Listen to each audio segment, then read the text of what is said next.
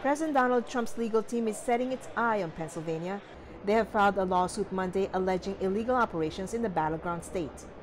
Legal observers said the motion provided no hard evidence. The whole idea, again, that there's widespread voter fraud, I mean, it's it's really just a myth, and it has been uh, debunked time and time again uh, by election commissioners and election officials all across the United States. Joshua Ang Price is an election commissioner in Arkansas. This Phil-Am told ABS-CBN News human errors do occur, but they don't amount to voter fraud. The results, they are what they are, and there can again be debate back and forth. But I'm, I'm, I believe in our system. You know, this is really not about a specific candidate. This is about a system. This is about a system that was created by our ancestors to make sure we had the right to vote and elect our own leaders.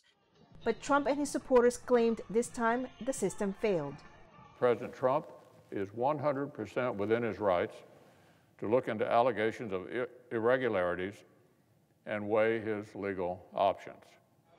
Trump's legal team is hoping a judge would impose an emergency injunction in Pennsylvania to prevent the state from certifying President elect Joe Biden's victory.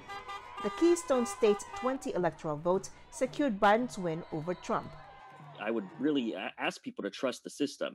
Um, uh, if you trusted it in 2000, in 2004, in 2008, in 2012, in 2016, if you trusted all those processes and those results during those years, then I would say then to continue to trust it and trust it now in 2020. Many legal experts agree that there's little chance Trump's lawsuits would succeed. For Price and other election officials, spending time addressing allegations and doubts are just causing more delays to already overdue election results. Lenn Almadin Thornhill, ABS-CBN News.